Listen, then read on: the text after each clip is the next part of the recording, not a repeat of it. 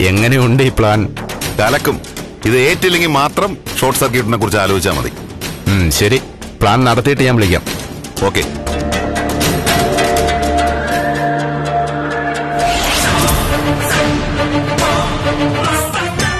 നിങ്ങളാണല്ലേ ഇവിടുത്തെ chief cook സത്യത്തിൽ ഇവിടെ എത്ര പാചകക്കാരികളുണ്ട്? അതൊക്കെ താനെന്തിനാ അറിയുന്നത്? അതുപോലെ നാളെ വരുമ്പോ മീൻ വാങ്ങാൻ വരുന്നത് വേറെ പാചകക്കാരിയാണെങ്കിൽ ഒന്നും അറിഞ്ഞിരിക്കാലോ എന്ന് കരുതിയ. എടോ താൻ ഇവിടെ ആദ്യമായിട്ട് വരുന്ന മീൻകാരനല്ലേ? അതെ പുതിയ മീൻകാരൻ സഹകൊച്ചാപ്പു എടോ സഹകൊച്ചാപ്പു താൻ വന്നപ്പോ തന്നെ താൻ മീൻകാരനാണെന്ന് എനിക്ക് മനസ്സിലായില്ലേ? അതുപോലെ താൻ മീനുമായി വരുമ്പോ ഞാൻ അല്ലെങ്കിൽ വേറൊരു കുക്ക് മീൻ വാങ്ങും. അതൊക്കെ ശരിയാ. പക്ഷേ ഒരു വീട്ടിൽ മീൻ വിൽക്കാൻ ചെല്ലുമ്പോ അവിടുത്തെ ചുറ്റുവട്ടങ്ങളൊക്കെ അറിഞ്ഞിരിക്കുന്നതാ എന്റെ ഒരു രീതി. ചുറ്റുവട്ടങ്ങളൊക്കെ അറിഞ്ഞു വെച്ചിട്ട് രാത്രി വന്ന് കക്കാനാണോ? ഓ അയ്യോ. ഞാൻ കള്ളനല്ല ചീഫ് കുക്കെ. എല്ലാ കള്ളന്മാരും ഇങ്ങനെയൊക്കെ തന്നെ പറയുന്നത് തനിക്കാണെങ്കിൽ നല്ല കള്ളലക്ഷണം ഉണ്ട് വെറുതെ. കൂട്ടത്തിൽ പാചകക്കാരികളെ കുറിച്ചൊരു ചോദ്യവും. എന്താ അതിന്റെ ഉദ്ദേശം? അയ്യോ തെറ്റിദ്ധരിക്കരുത്. ഇനി ഞാനൊരു സത്യം പറയാം. ഇന്നലെ ഇവിടുത്തെ ഒരു പാചകക്കാരി ചന്തയിൽ മീൻ വാങ്ങാൻ വന്നപ്പോ അഞ്ഞൂറിനൊരു നോട്ട് തന്നിട്ട് ചില്ലറ വാങ്ങാതെ പോയി. അത് തിരിച്ചു കൊടുക്കാലോന്ന് കരുതിയാ ഞാൻ അന്വേഷിച്ചത്. ആ എന്നാ തന്നെ ബാക്കി ഞാൻ കൊടുത്തോളാം. അതിന് ആളെ നേരിട്ട് കണ്ടാലല്ലേ? ആരാ മീൻ വാങ്ങിയെന്ന് എനിക്ക് പിടികിട്ടു ഓ അത് ശരിയാണല്ലോ. ചില്ലറ കൊടുക്കാനുള്ള പെണ്ണിന്റെ അടയാളങ്ങൾ വല്ലതും അറിയാമോ? ഞാനേ അതത്ര ശ്രദ്ധിച്ചില്ല. എന്നാലും ആ സ്ത്രീക്കൊരു അറുപത് വയസ്സുണ്ടാവും. ഓ അറുപത് വയസ്സുള്ള പാചകക്കാരി അല്ലേ? പാചകക്കാരനാവണമെന്നില്ല അടിച്ചളിക്കാരിയോ പുറംപടിക്കാരോ ആവാലോ. ഒരു കാര്യം ചെയ്യും. അറുപത് വയസ്സിന്റെ ചുറ്റുവട്ടത്തുള്ള എല്ലാവരും ഒന്ന് വിളിക്കും. ഞാനൊന്ന് പരിശോധിക്കട്ടെ. ശരി തന്നോട് നിക്ക്.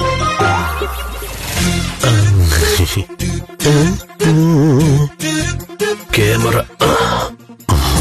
ഈ പൊസിഷനിൽ നിന്ന് കൊട്ടയിലെ ബട്ടൺ ക്യാമറയിൽ മാളുവിന്റെ മുഖം കൃത്യമായി പതിയും. ഇങ്ങനെ തന്നെ നിൽക്കാം.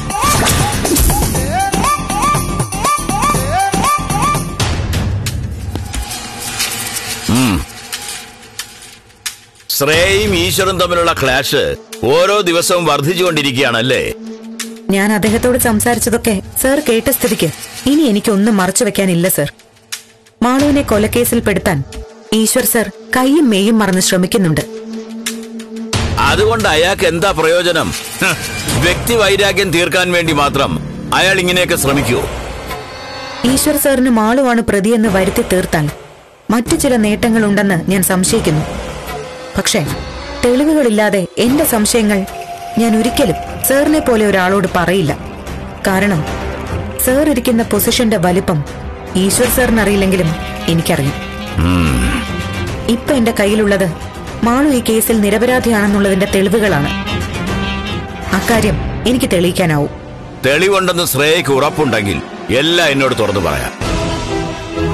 ഞാനിത് ഒരിക്കലും ഈശ്വരനോടൊന്നല്ല മറ്റാരോടും പറയില്ല. നമ്മൾ തമ്മിലുള്ള സംസാരം സ്ട്രിക്ട്ലി കോൺഫിഡൻഷ്യൽ ആയിരിക്കും. പറയാം സർ.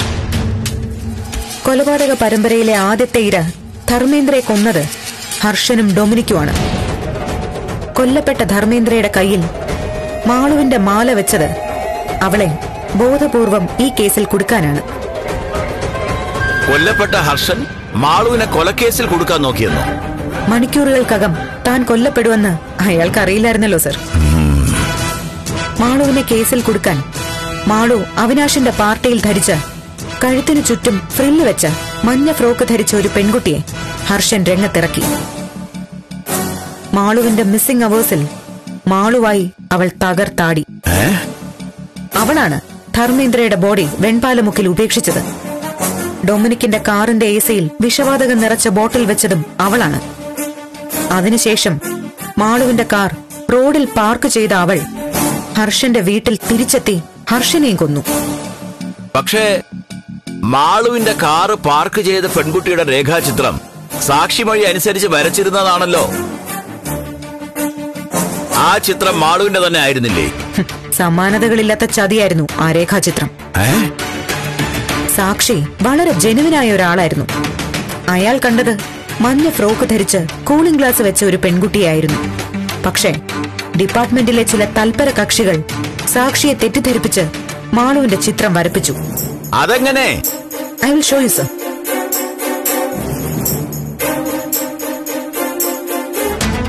Car park ചെയ്ത് എന്റെ ഓട്ടോയ്ക്കടുത്തേക്ക് വന്ന പെൺകുട്ടി ഇട്ടിരുന്നത് ഒരു മഞ്ഞ ഫ്രോക്കായിരുന്നു. കൂളിംഗ് ഗ്ലാസ് വെച്ചിട്ടുണ്ടായിരുന്നു. ഒരു തൂവാല കൊണ്ട് മുഖം തുടച്ച് വന്നതുകൊണ്ട് ഞാൻ ആ കുട്ടിയുടെ മുഖം വ്യക്തമായിട്ട് കണ്ടില്ല. ഹർഷ വന്ന വീടിന് മുന്നിൽ ഇറങ്ങി കാശ് തരാൻ തുടങ്ങിയപ്പോ ഒരു മിന്നായം പോലെ ഞാൻ ആ മുഖം കണ്ടു. ഞാനിത് എസ് ഐ സാറിനോട് പറഞ്ഞപ്പോ സാർ എന്നെ ഒരു ഫോട്ടോ കാണിച്ച് ആ കുട്ടിയാണ് പ്രതിയെന്നും തെളിവുണ്ടാക്കാനായിട്ട് പോലീസിനെ സഹായിക്കണമെന്നും പറഞ്ഞു.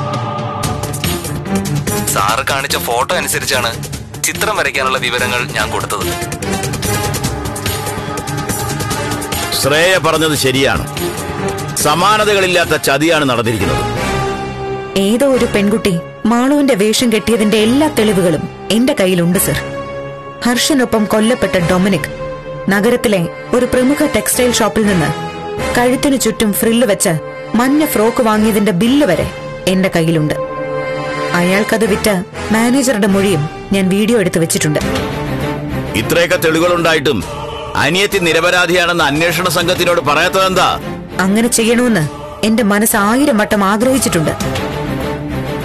പക്ഷേ മാളുവിനെ രക്ഷിക്കാൻ വേണ്ടി മാത്രം ഞാൻ ഈ തെളിവുകൾ അന്വേഷണ സംഘത്തിന് നൽകിയാൽ മാളുവിനെ കൊടുക്കാൻ ശ്രമിച്ചവർ അലേർട്ടാവും.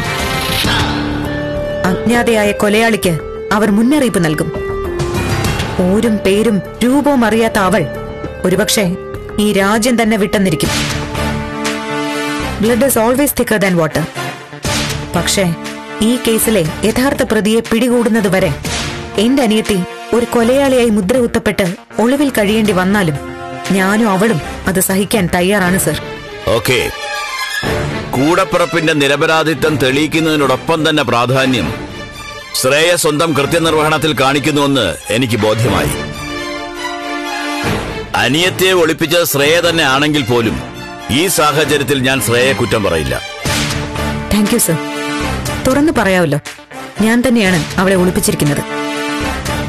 ശത്രുക്കളുടെ കാട്ടുനീതിക്ക് അവളെ വിട്ടുകൊടുക്കാൻ എനിക്ക് മനസ്സില്ല സർ. തൊപ്പിയും യൂണിഫോമും തോളിലെ ഈ നക്ഷത്രങ്ങളും അഴിച്ചു വെക്കേണ്ടി വന്നാൽ പോലും ഞാൻ അവളെ സംരക്ഷിക്കും. ഒരന്വേഷണ ചുമതലയും ഇല്ലെങ്കിലും യഥാർത്ഥ പ്രതിയെ വെളിച്ചത്ത് കൊണ്ടുവരികയും ചെയ്യും. ശ്രേയയുടെ സ്പിരിറ്റ് എനിക്ക് മനസ്സിലാകുന്നുണ്ട്. പക്ഷേ ഒരു സംശയം. ഹർഷനാണ് ആ പെൺകുട്ടിയെ ഇറക്കി മാളവിക നന്ദിനിയുടെ വേഷം കെട്ടിച്ചതെങ്കിൽ ആ പെൺകുട്ടി എന്തിന് ഹർഷനെയും ഡൊമിനിക്കിനെയും കൊല്ലണം? കൊലപാതകത്തിന് അവൾക്കുള്ള ആ പ്രേരണയാണ് സർ. ഞാൻ ഡിപ്പാർട്ട്മെന്റിന്റെ സഹായമില്ലാതെ അന്വേഷിച്ചുകൊണ്ടിരിക്കുന്നത്. മാളുവിന്റെ മിസ്സിംഗ് അവേഴ്സിനെ കുറിച്ച് അന്വേഷിക്കാനാണ്. ഞാൻ ഹോട്ടലിൽ നിന്ന് ഈശ്വർ സർ കൊണ്ടുപോയ രേഖകൾ അന്വേഷിക്കുന്നതെന്ന് പറഞ്ഞത് വെറുതെ ഞാൻ അന്വേഷിക്കുന്നത് അജ്ഞാതയായ ആ പെൺകുട്ടിയാണ് കുറച്ചുകൂടി തുറന്നു പറയാം. ഞായറാഴ്ച രാത്രി കൊലയാളി താമസിച്ചത് ആ ഹോട്ടലിലാണ്. തിങ്കളാഴ്ച രാവിലെ അവൾ ആ ഹോട്ടലിൽ നിന്ന് ഹർഷനോടൊപ്പം പുറത്തു പോകുന്നതിന്റെ C C T V visuals എന്റെ കയ്യിലുണ്ട്?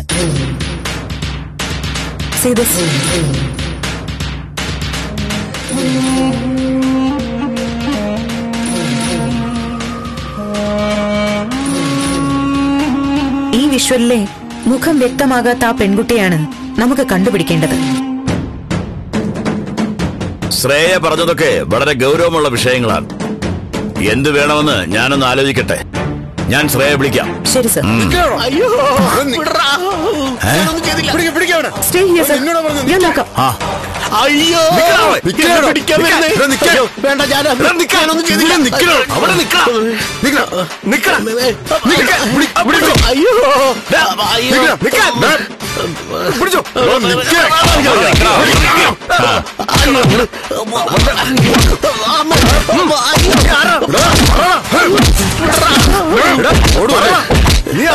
അയ്യോ അവന്റെ ഒരു ഇങ്കത്തോളം പറയണ.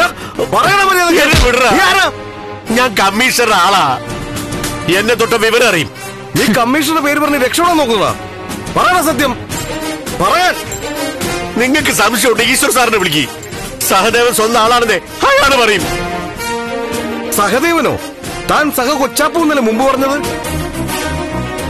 ഇതൊക്കെ അവന്റെ അടവ. പ്രതിപക്ഷത്തിന്റെ ചാരനവൻ. സ്റ്റോപ്പ് അടിക്കല്ലേ. അയ്യോ. സത്യം തുറന്നു പറയുന്നതാ നല്ലത്. കമ്മീഷണർ ഈശ്വർ സാറിന് വേണ്ടിയാണോ? സാക്ഷാൽ ഹോം മിനിസ്റ്ററുടെ വീട്ടിൽ നിങ്ങൾ ചാരപ്പണിക്ക് ഇറങ്ങിയത്? ആ കമ്മീഷണർ പ്രതിപക്ഷത്തിന്റെ ആളായിരിക്കും. രഹസ്യം ജോർദാൻ ദേ ഇയാൾ ഈ ക്യാമറ ഇവിടെ വന്നത്. എന്താ ഉണ്ടായത്? ഒന്ന് തെളിച്ചു പറ. മീൻകാരന്റെ വേഷത്തിലാ സാറേ ഇയാൾ ഇവിടെ വന്നത്. അറുപത് വയസ്സുള്ള ഒരു പാചകക്കാരി ഇവിടെ ഉണ്ടെന്നും കാണണമെന്നും പറഞ്ഞു. ഞാൻ വിളിച്ച് കാണിച്ചു കൊടുത്തു. എന്റെ അസിസ്റ്റന്റ് ചെല്ലമ്മാളിനെ കണ്ടതും വിഗ് വച്ചിരിക്കുകയാണെന്ന് പറഞ്ഞ് ഇയാളെ പാവ സ്ത്രീയുടെ തലമുടി പറിച്ചെടുക്കാൻ നോക്കി സർ അവരുടെ കരച്ചിൽ കേട്ടാ ഞങ്ങൾ ഓടി വന്നത്. അറുപത് വയസ്സുള്ള എല്ലാ പാചകക്കാരും നിങ്ങൾ കാണിച്ചു തന്നിട്ടില്ല. എനിക്ക് കാണേണ്ട ആളെ നിങ്ങൾ മറച്ചു വെച്ചിരിക്കുക. വൃദ്ധകളെ പീഡിപ്പിക്കുന്ന ഒരു സൈക്കോപാത്താണ് ഇയാൾ. അറസ്റ്റ് ഹിം അയ്യോ ഞാൻ സൈക്കോപാത്തല്ല സഹദേവനാ. ഈ നിൽക്കുന്ന ശ്രേയാനന്ദിനി എന്റെ മോളാ. ഓഹോ. ഇത്രയും നേരം താൻ പറഞ്ഞത് താൻ കമ്മീഷണറുടെ ആളാണെന്നാ. ഇപ്പോ ശ്രേയാനന്ദിനിയുടെ അച്ഛനായി അല്ലേ? ഇത് എനിക്ക് ജന്മം നൽകിയ ആൾ തന്നെയാണ് സർ. കേട്ടോ. അദ്ദേഹം തന്നെയാ ഇദ്ദേഹം. പക്ഷേ കൂർ ഈശ്വർ സാറിനോടാണെന്ന് മാത്രം. എന്റെ ശത്രുപക്ഷത്താണ് ഇദ്ദേഹം. അതും സത്യ സാറ്. ഞാൻ കമ്മീഷൻ സാറിന്റെ സ്വന്തം ആളാ. ഈശ്വർ സാർ എന്തെങ്കിലും രഹസ്യം കണ്ടുപിടിക്കാനായി വിട്ടതാവാനാണ് സാധ്യത. ബട്ടൺ ക്യാമറ വെച്ച് എന്ത് രഹസ്യം തേടിയാണോ താൻ വന്നത്? മാളുവിനെ ഈ വീട്ടിൽ ഒളിപ്പിച്ച് താമസിപ്പിച്ചിരിക്കുകയാണെന്ന് രഹസ്യ വിവരം കിട്ടി. അതന്വേഷിക്കാനാ വന്നത്. തന്നോട് ഈ വിഡിതം പറഞ്ഞ ആരാ? ഈശ്വറാണോ അല്ല സാറേ. ഇത് ഞാൻ സ്വയം കണ്ടെത്തിയ സീക്രട്ടാ. എടോ ഈശ്വരനെ വിളിച്ച് ഉടനെ എന്നെ ഒന്നൊന്ന് കാണാൻ പറ. Okay sir. സാറേ ഏതെന്ത് ചെയ്യാനാ? ശ്രേയയുടെ അച്ഛനല്ലേ? തൽക്കാലം വിട്ടേക്ക്. അങ്ങനെ ഒരു പരിഗണന കൊടുക്കണമെന്ന് ഞാൻ ആവശ്യപ്പെടില്ല സർ. അറസ്റ്റ് ചെയ്യണമെങ്കിൽ അറസ്റ്റ് ചെയ്യാം. അയ്യോ വേണ്ട. അറസ്റ്റൊന്നും വേണ്ട.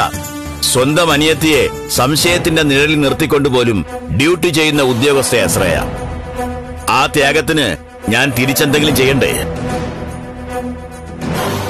ഇനി ഈ ഏരിയ കണ്ടുപോരുത് ഓ ശരി. എന്റെ ബട്ടൺ ക്യാമറ കിട്ടിയിരുന്നെങ്കിൽ എനിക്ക് എനിക്കങ്ങ് പോവായിരുന്നു. കൊണ്ടുപോ. ശരി. അയ്യോ അമ്മേ. ശരി ശ്രേയ. ഞാൻ ഈശ്വരനോട് സംസാരിച്ചതിന് ശേഷം വിളിക്കാം. Okay sir.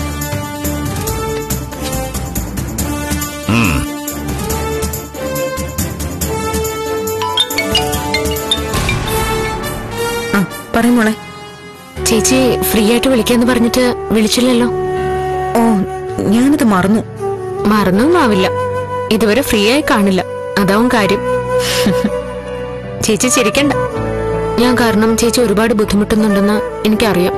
ഓ പിന്നെ. നീ ഈ കേസിൽ ഉണ്ടായാലും ഇല്ലെങ്കിലും നടക്കാനുള്ളത് മുഴുവനും നടക്കും. അതിന്റെയൊക്കെ പിന്നാലെ ഞാൻ തന്നെ ഓടേണ്ടതായും വരും. പിന്നെന്താ പ്രശ്നം? പപ്പന്റെ വീട്ടിലെ കാര്യങ്ങൾ പറഞ്ഞുകൊണ്ടിരിക്കുമ്പോഴാ നമ്മുടെ സംസാരം കട്ടായത്. എനിക്കിപ്പോ അവിടെ നടന്നത് കുറച്ചുകൂടെ ഓർത്തെടുക്കാൻ പറ്റുന്നുണ്ട് ചേച്ചി. അറിഞ്ഞതൊക്കെ പറ. ബാക്കി നമുക്ക് പൂരിപ്പിക്കാൻ പറ്റുമെന്ന് എനിക്ക് തോന്നുന്നുണ്ട്. ശരി ചേച്ചി. പപ്പന്റെ വീട്ടിൽ ഒരു സ്ത്രീയെ പൂട്ടിയിട്ടിട്ടുണ്ടായിരുന്നു ചേച്ചി.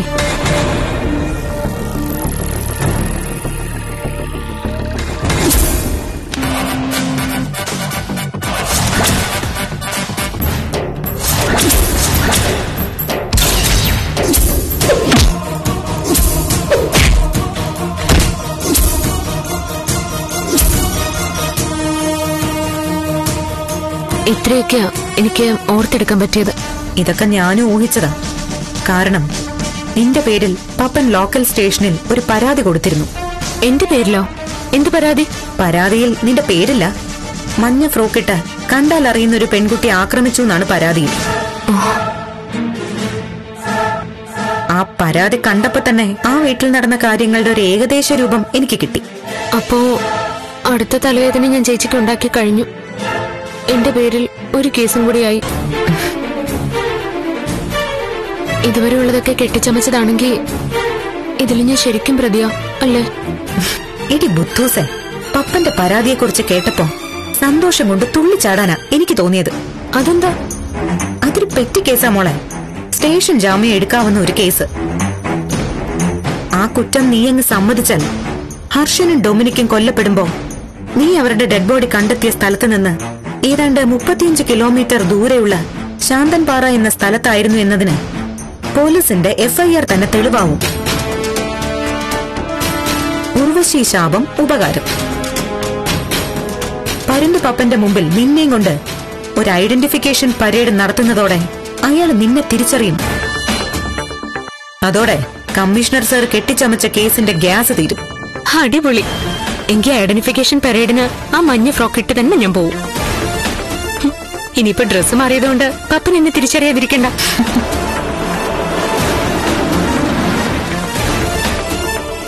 കമ്മീഷണർ സാർ എത്തിയിട്ടുണ്ട്. ടീച്ചർ ഓഫീസിലോ അയ്യോ അല്ല. ഞാൻ ഹോം മിനിസ്റ്ററുടെ വീട്ടിലാ. അത് പറയാൻ മറന്നു.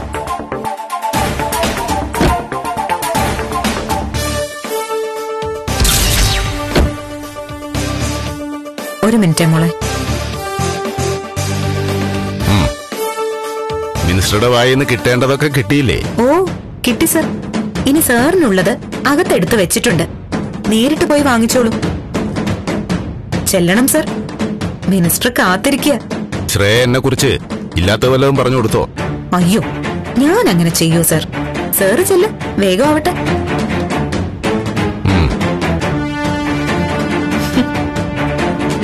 ആ മോളെ. കമ്മീഷണർക്കുള്ള എന്ത് പാരയാ? ചേച്ചി റെഡിയാക്കി കൊടുത്തത്. ഏയ് ഞാനല്ല. ഈ പാരയുടെ സ്പോൺസർ നീയാ. ഞാനോ? അതെ. ഇന്നലെ നീ അപ്പച്ചയ്ക്കും ടീമിനും പറഞ്ഞുകൊടുത്ത ആ തന്ത്രമില്ലേ? അവരത് നിന്റെ സഹുവിന്റെ അടുത്ത് പ്രയോഗിച്ചു. എന്നിട്ട്? നീ ഹോം മിനിസ്റ്ററുടെ വീട്ടിലുണ്ടെന്ന് കരുതി. സഹു ഒരു മീൻകാരന്റെ വേഷത്തിൽ ഇവിടെ എത്തി കിട്ടാനുള്ളത് മുഴുവനും വാങ്ങിയെടുത്തു. രക്ഷപ്പെടാൻ വേണ്ടി പുള്ളി കമ്മീഷണറുടെ പേരുപയോഗിച്ചു. കമ്മീഷണർ ഏതോ ചാരനെ അയച്ചെന്നാ മിനിസ്റ്റർ കരുതിയിരിക്കുന്നത്. അത് കലക്കി. സഹുവിന് എട്ടിന്റെ പണി നമ്മൾ കൊടുത്തപ്പോ സഹു കമ്മീഷണർക്ക് എൺപത്തെട്ടിന്റെ പണി വാങ്ങിച്ചു കൊടുത്തു. ശരി മോളെ. ഞാൻ ഇനി വീട്ടിൽ ചെന്നിട്ട് വിളിക്കാം. ഓക്കെ ചേച്ചി.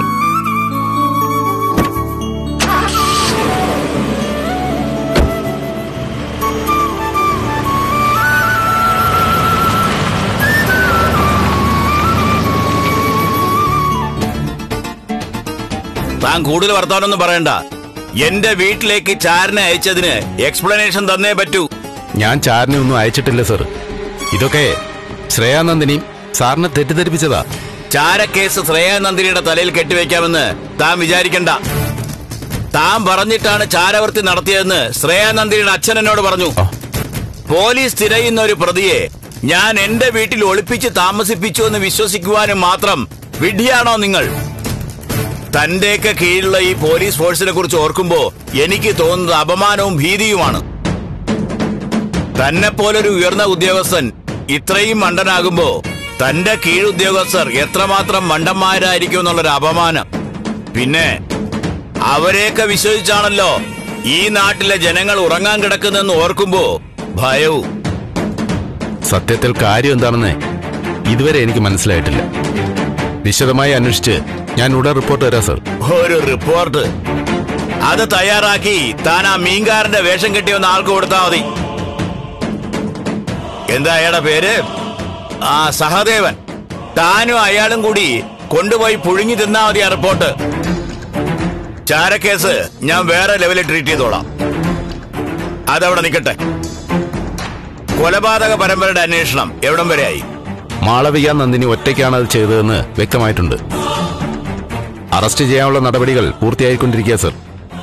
പക്ഷേ കൊലപാതകങ്ങൾ നടന്ന സമയത്ത് മാളവിക നന്ദിനി മറ്റ് സ്ഥലങ്ങളിലായിരുന്നു എന്നുള്ളതിന് തെളിവ് ശ്രേയാനന്ദിനിയുടെ കയ്യിലുണ്ട്. അത് സ്വാഭാവികം.